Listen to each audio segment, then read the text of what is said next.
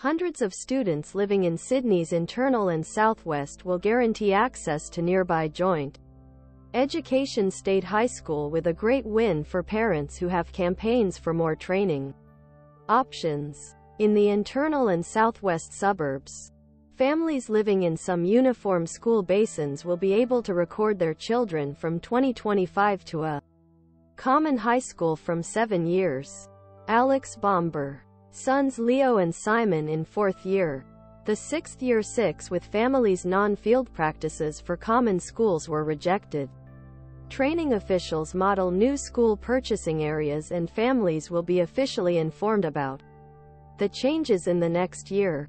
The policy change comes by saying that they are forced carry suburbs or move the private sector due lack of common options after making years lobbying by disappointed parents who are desperate for more school options.